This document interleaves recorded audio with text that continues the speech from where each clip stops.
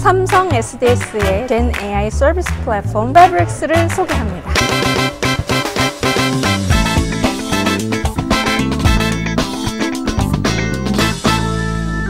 Gen AI 도입을 검토 중인 기업들의 고민은 보안, 정확도, 비용, 시스템 연계였습니다. 이러한 고민을 해결하기 위해 삼성 SDS는 Fabrics라는 Gen AI 서비스 플랫폼을 개발하여 기업의 다양한 업무 시스템 및 데이터를 Private 및 Public LLM과 신리싸게 연계함으로써 비용 효율화와 업무 생산성 향상을 지원합니다.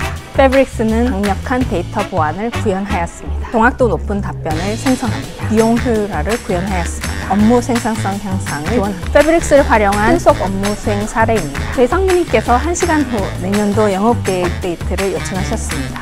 일반적으로 데이터 확보부터 보고서 작성까지 최소 하루 이상 소요됩니다. 그래서 FabriX를 활용하기로 했습니다. 사내 지식 자산이 모여있는 페이지로 이동합니다. AI 채창으로 이동하겠습니다. 주요 고객을 살펴보겠습니다. 미리 등록해둔 CRM 고객 정보와 ERP 매출 정보를 바탕으로 매출 상위 상계사의 정보를 표로 작성해 달라고 요청하겠습니다. CRM 시스템과 직접 연계하여 자료를 직접 검색하고 요약해 달라고 요청하겠습니다. ERP의 연도별 제품 매출 자료를 기반으로 막대 그래프를 그려달라고 이렇듯 Fabrics를 활용하면 사내 지식자산 검색뿐 아니라 자료의 분석 및 시각화가 가능하였습니다. 이렇듯 Fabrics 사용 신속한 자료 확보와 편리한 자료 요약 및 시각화가 가능한 빠른 의사 결정을 지원할 수 있습니다. LLM 중심의 Gen AI 서비스뿐 아니라 보고 업무 정확도 향상, 비용 효율화, 업무 효율화 등 기업 맞춤형 서비스 제공으로 고객의 업무 생산성 향상을 지원하겠습니다.